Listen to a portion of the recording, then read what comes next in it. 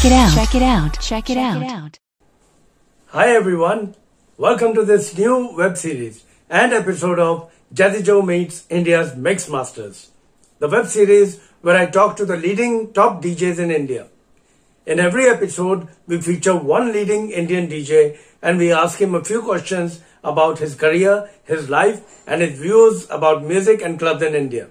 I hope you will all enjoy and support my humble effort in talking to India's mix masters.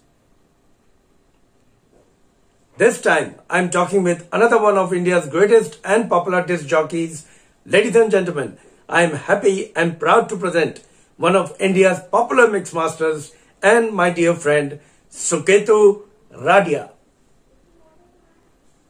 Suketu Radia, popular known as DJ Suketu, is an Indian DJ, music producer, and content creator.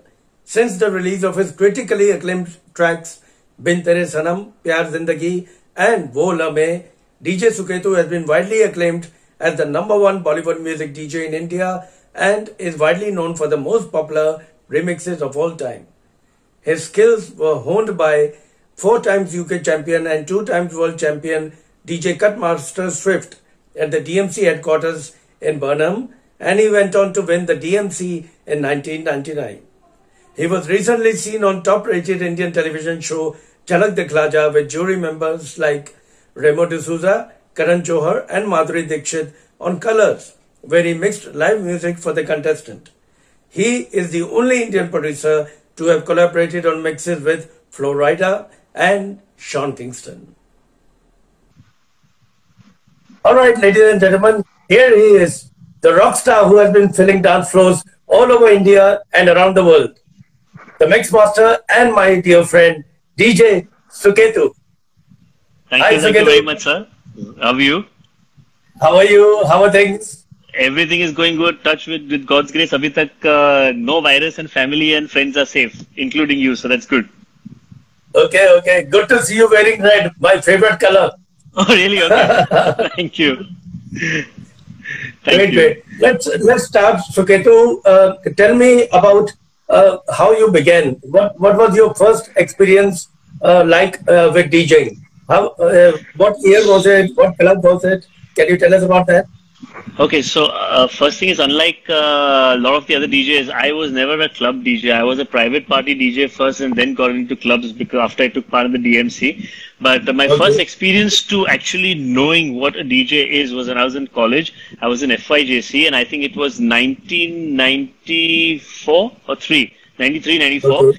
And that's the first time I actually saw DJ Hussein Sir perform in uh, at my college party, and I was just blown out of my mind. I was like, "How is this person mixing the way he's talking on the mic, his body language, the music, the song, one after the other was just killing it. I mean, he was actually taking the students on a journey. And I said, I got to try my hands on something, you know, like this. And I should see if I can become a DJ. And one thing led to another. I started doing some college parties, some sweet 16s, some 18 parties, some 21st parties. And one thing led to another. By the time I finished my graduation in TYBCom, I had gotten into DJing pretty much full time doing private parties. I can totally relate to that. I can understand. I'm a big fan of DJ too. Absolutely, Uh, uh, sure. Do you? Uh, what about uh, clubs? Uh, do you remember a few of the clubs? Uh, so, of course, in the last 22 years of playing music, there have been a lot of nightclubs and a lot of places and a lot of good memories as well. But yeah, one interesting fact is that though I started playing in 1995, 96, I did not enter a nightclub or play in a nightclub, enter a nightclub till 1999. And it was in 1998 actually that I saw the DMC India finals happening in Mumbai, where the first time I even saw you perform. And it was Sunny Sarid sir and Clement and Ivan sir and uh, uh, Lloyd, uh, Nasha and everybody performing together. And that's when my eyes actually opened that this is real DJing. This is what I need to do. This private party and playing Summer of 69 when everybody requests it and all is one part of it and it's good fun. But this is what I need to get into. And that's when I actually then started training in turntablism with uh, Joe Azeredo in uh, Mumbai. And uh, he trained me, and I took my I took part in 1999 in the DMC Championships, and that was the first time in my life I entered a nightclub in the console. I have, I had gone to nightclubs to party, but in 1999, so from 96 to 99, there was no thing, nothing with the nightclubs. And then after that, of course, you know, one thing led to another. Won the Mumbai round, did first runner-up in India, and my first album came out. And since my first album came out, and actually post DMC, when people actually heard about DJ Suketu, there have been a lot of nightclubs. But I remember my first absolute nightclub where I did a proper solo performance and it, you know, got the crowd there was in Chennai at a nightclub called Hell Freezes Over in the year 2000. That takes me, your first album takes me to the big hit, the huge hit, Bin Tere Sanam. Can you tell us the story behind that? How did that come up? Because I remember once you met me, I think at the Delhi airport Right. or, or the Mumbai airport, and you Yeah. told me, Jazzy, uh, it's a very simple remix. I don't know why it's so popular. So what Yeah. was the story behind that? So funnily, the thing was that Bin Tere Sanam was supposed to be on my first on my album, my first album, which was 440 volts. But uh, apparently, it seems that when we produced the song, the song became. I mean, people loved it so much that they said that no, Pyar Zindagi Hai is also fantastic. So let that be your first video track and let that release. And we will put Bin Tere Sanam either in your next album or we will release it as a single later, you know, in a separate album. And actually, that's what happened. So, for, and I, Pyar Zindagi Hai, I actually, I think, spent close to six to seven days to get it right, the way it was sounding. And it was my first remix ever, so I wanted my first video track, which was going to be released, and I really wanted it to be perfect, that there could be no glitches at all. So it took me seven days. And Bin Tere Sanam was the last song we did for the album 440 was, and it actually really? took Hyacinth, and it took Hyacinth and me about seven hours or eight hours to produce and give. Like, you know, we started off in the night and in like, you know, next day in the morning we had the song ready and we gave the demo to Times Music and they said, this song is mind blowing, mix and master it. We're not releasing it right now, we'll keep it for later. And I still don't get it that was it the simplicity of the remix or was it the melody of the song Bin Tere Sanam or was it our reference track by Kylie Minogue which was Can't Get You Out of My Head which was very popular at that time which we adapted into Bin Tere Sanam.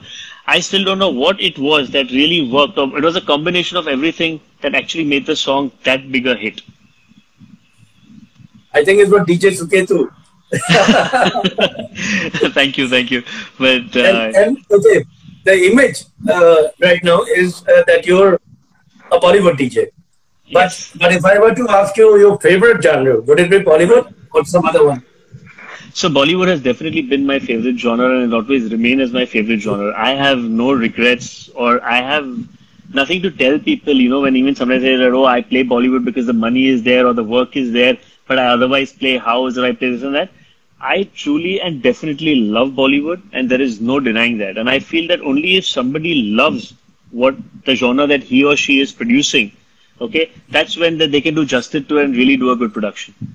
So definitely. But my second most favorite genre in the last, I think, maybe six to seven years, or maybe eight years, which I've been totally grooving on, is Deep House.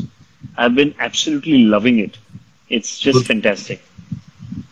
Uh, more than two decades. Is there a change that you have seen in the music that has come about, uh, the charts, um, the crowd, what they are responding to, um, the remixes, the kind of music that you've had to change, the kind of remixes you've had to make? Uh, make. Yes. Uh, do you see any change in that?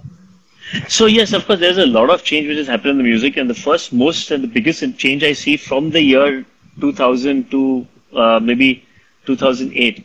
When I play parties that time, Bollywood was about 25% or 30% of the music. The balance was say 70%, 65% was uh, pop music, international music, commercial pop, and things like that. But uh, slowly, slowly, once remixes became popular and things became really big, I just saw the trend that now Bollywood has become about 80% of the music and 20% is given to everything else that is be the hip hop or, uh, you know, uh, and when I say Bollywood, I don't mean film music. I mean Indian music, Desi music, as you may call it. This includes Punjabi, indie pop, Bollywood, everything together because Punjabi music has also become a very big part of today's music culture. So that's become 80% of the balance, 20% is English music, commercial pop and everything like that. So definitely that music changes happen. And yeah, I've seen the music uh, remixes also that have changed through the years. I think when we started off in the day, back in the day in 2000, 2002, producing remixes like Sagu sir or Akbar Sami sir or Aqeel or Nasha or myself, anybody, we always went on the more melodic side of a remix and we sort of, you know, try to work around the song. But today I feel that the remixes have changed in the way that people are adapting a genre to put into a song. So in between, Big Room became a very big thing. All the sounds of Avicii and uh, Hardwell and uh, uh, Dimitri Vegas like Mike. So all the remixes came with that really big, those big synths and those white synths and everything like that, you know. So and then after that, suddenly people realized that uh, uh, hip hop had become a very popular genre. So a lot of mid-tempo started coming in, and right now also it's very very popular. Like if you see most of the biggest songs which are there, which are running, they are all in the Despacito range, and the remixes also which are coming out, and the Bollywood tracks also coming out a lot in that range. So I think yes, music uh, genres and type of remixes has changed a lot in the past uh, uh, 18, 15 to 18 years. This is a question that comes from my heart. As from DJ to DJ, what makes Suketu more happy? Production or performance on a stage?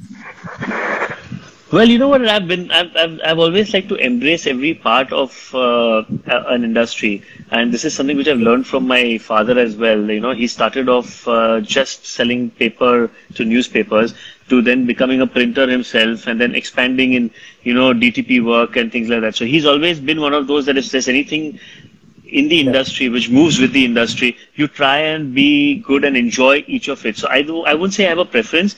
I like both of it because i love being in the studio and producing a remix. Because in my mind i'm only thinking man if i the drop is like this just i can picture the crowd going crazy on it. Like you know i'm just that's that's my imagination which is amazing because then it keeps my mind active and it keeps my mind at work.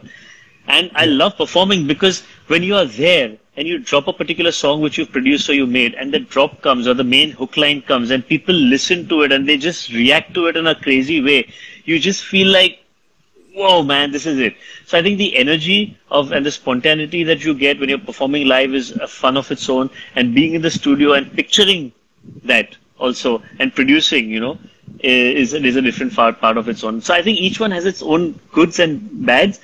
But uh, yeah, one thing is there that I would never, ever in my life be able to stop performing live. I think. So if that was given as like somebody came and told me and put a gun to my head that you have to stop producing music and you have to, or you have to, yeah, or you have to stop playing live, what would you choose?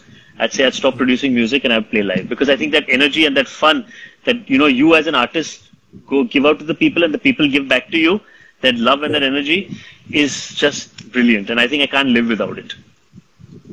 Since you love performing, can you name three places, your favorite places, which you remember to Okay. perform? Okay, so uh, are they? Do they have to be nightclubs or do they have to be? They can be venues where I've performed also before. I mean, which Yeah. which do you only nightclubs? No, no, it So, can be nightclubs, anything. it can be events, Anything. it can be Venues, anything, it can be the moon, anything, Okay, anywhere. lovely. I wish that happens one day, but uh, but uh, yeah. So I think three uh, places which I can never ever forget in my life is one New Year's Eve that I did in Dubai at the Dubai World Trade Center, where Aqeel and me performed together for the New Year's Eve. It was called this uh, the Speed New Year's Eve event by Speed Entertainment, and uh, we had seventeen thousand people in the World Trade Center dancing to our music. I think that is one venue which I can never forget. And the way the venue was set up, the lights, the sound, the sheer magnitude of the, you know, the production was just so good. The second place I can never ever forget in my life where I performed is uh, the Commonwealth Games closing ceremony. I was performing on stage live in front of 65,000 people in Delhi in the Commonwealth Arena. With uh, on the stage with me was Raghav Sachar, uh, Shankar Mahadevanji, Sunidhi Chauhan, and Shivamani ji. So we all got together doing a six and a half minute set. I think that is something I can never ever forget. And no matter what happens, I would. I think even if I get Alzheimer's or if I get any dementia, that memory will always remember. You know, be in my mind. And the third and one of my favorites is uh, playing at Club Privé. It's undoubtedly one of my favorite clubs in Delhi and in India.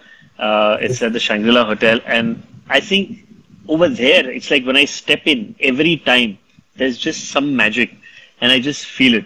Less crowd, more crowd is secondary, but it's one venue I cannot forget, and I, I think I will keep going back again and again there to play till they keep calling me. Okay. Wow. And now I have a question from one of our regular viewers. Okay. And this was a lady, and I think she's been watching you quite closely.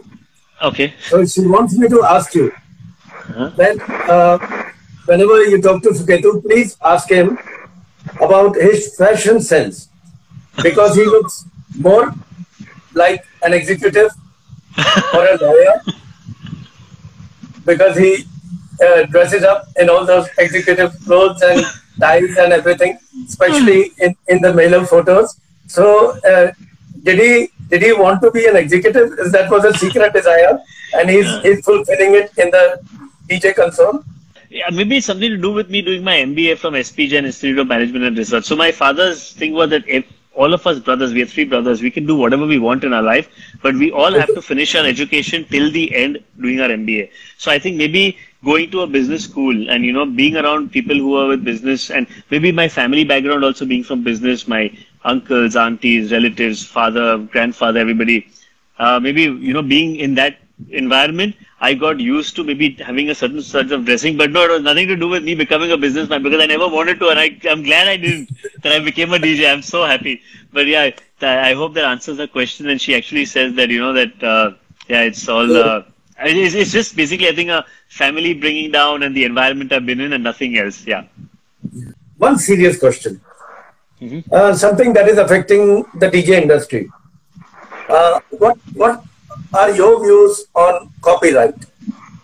You know, copyright is something which troubles a lot of DJs, especially since you come, uh, you started as a party DJ. You would relate to to you know uh, the wedding circuit and the party DJs who are being harassed sometimes because they don't have a copyright license or something like Sure. that. So, what what are your views on on the copyright? Do you think that DJs and companies, the industry should come together and formulate something like uh, for that? I am absolutely on and I'm absolutely for copyrights because ultimately it's a creation that somebody has put their heart and soul into and it is that creation which is making you earn money. We are playing recorded music. So I'm not saying this right now because I've been releasing a lot of my original tracks right now and I know I even know more today than ever before that how much copyright makes a difference. But I think that creativity needs its uh, you know its uh, payback as if you call it. And i'm absolutely on for copyrights. And i'm very much on for the fact that yes there should be a proper way of actually handling this situation. It would be even better if it's a government agency and not just an agency which has just come up you know from nowhere and there has to be a system to collect it because i know that today for me it might be easy to pay an x amount of money uh, because of my shows and work and everything and to get the license for one year or two years or three years or whatever they're giving it but for another dj it might be a very high amount to acquire that license. So i feel that there has to be some sort of a system okay that where each one should be charged according to a particular level of income that they are having and you know but but i think yes that everybody needs to give back to the people who've composed that song produced that song written lyrics for that song and the music companies who have released that song. Because it's it's only fair that you know the due uh, respect should be given in term in monetary value if it may be. But yes i'm very much in for the copy law, copy law rights and uh, copyright laws sorry. And i'm very much in for uh, a system to be formulated where this could run a little bit more smoothly unlike the way it's being handled right now. Cool. And and what is the future for DJ Suketu? Do you do you have any any things which you want to do? You haven't done them already. Like I know you've done remixes, you've done clubs, uh, you've done live streams.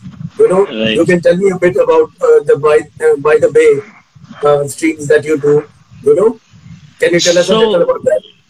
So I think uh, so. The By the Bay sessions were actually literally just a lockdown thing. It was me missing spinning music, uh, me missing spinning music. Forget about for people or no. It's just me spinning music, and you know, it was a good. And I I just tried it out one day. So I, since the lockdown happened in 2020, I was always playing music. I got my console before the lockdown was announced. No, I straight got my console and put it at my house from my studio. So I was anyways playing music, and I just thought one day that why don't I see what people think about my playing music at home and chilling. And that's how By the Bay came up. And now it's become like, you know, people actually wait for Sunday evening sessions for By the Bay. And I'm really happy that it's worked so well and it's become sort of a brand. But for the future, uh, so I think that, you know, I've not been somebody who plans too much for the future in terms of what I want to do. I normally like to go with the flow. Like I never planned to do online events. But lockdown ho gaya, COVID ho gaya, lockdown shows chalu ho gaya, online shows chalu ho gaya, and I adapted to it and I did it. When in the lockdown, so I've been wanting to do original music since a while, लेकिन मुझे ऐसा chance नहीं मिला because I was either traveling or I had some remix to do or something was happening, so I was always tied up. And originals was something totally new to me. But I used that time in the lockdown to do originals. Or now I started releasing my original music on my YouTube channel one after the other. Like every month, practically, I'm releasing one original track, either electronic or Hindi or Punjabi. So I don't say that I've planned anything as such in the future कि मुझे हाँ ये करना है. But I keep setting small, small goals for myself and moving ahead to do things. So right now, my main goal is that I want to make enough original music that my YouTube channel has enough original content that people can go over there and say, आज कुछ नहीं करना है 24 घंटे का content non stop है सुकेतु के YouTube channel में और ओरिजिनल कंटेंट है इलेक्ट्रॉनिक भी है पंजाबी भी है हिंदी भी है एवरीथिंग इज है let's just sit and watch that so yeah so i like to you know set goals like these slowly and steadily but one thing which i have definitely uh, put in my mind and i feel like i hope i can do it someday is i want to open a music label for myself and only and only sign up djs for it. Nobody else. Only DJs.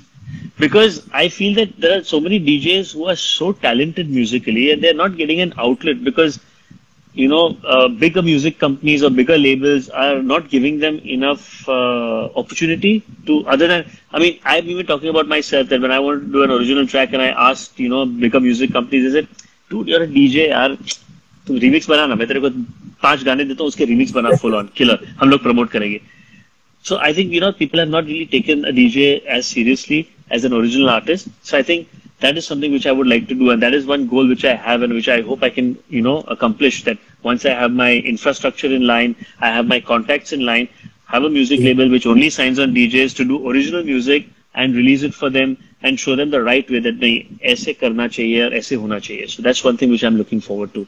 Wow, fantastic, fantastic. Okay, at the end, uh, you know, a lot of uh, DJs are inspired by you. A lot of uh, upcoming DJs, a lot of teachers like me, we are all inspired by you. Uh, any message you have for people like me? So the first message I like to give everybody is that you need to be like Jazzy Joe. You have to be as humble as him because he said he's inspired by me.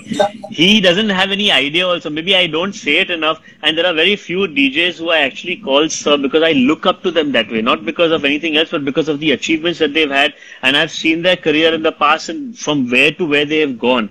And it's Sunny Sarid sir, Jazzy sir, you, Akbar Sami sir, Hussein sir, Ivan sir. I mean, like, these, y'all are the people who I still call sir. So that's the first thing which I want to say that, you know, be modest. If you, no matter how much you've achieved, no matter how further you've gone and how much you've gone, always be modest like these people because they are just incredibly, amazingly modest. And that's one thing which I've picked up definitely other than music and DJing from you guys. So, yep.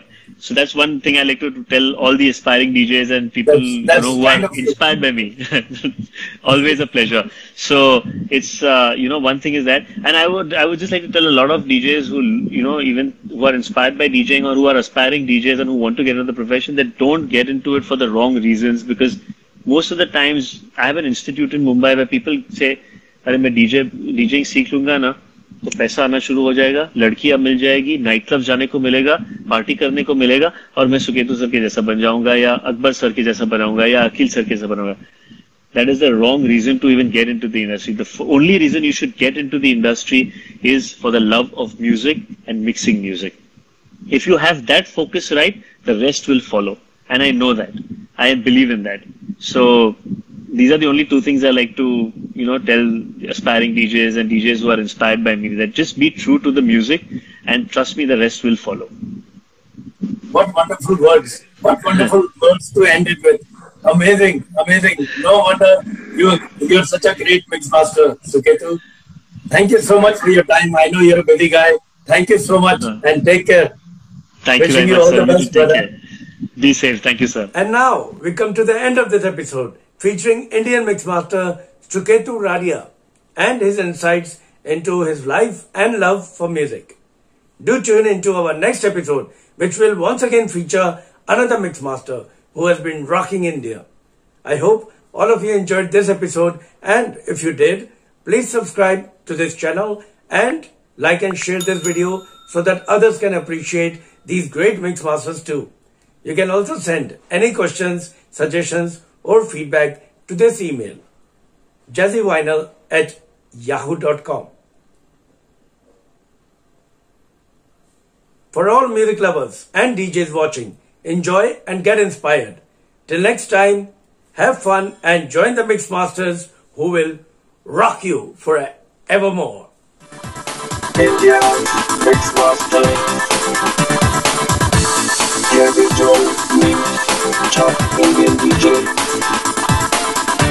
we go. Check it out. Check it out. Check it out. Check it out.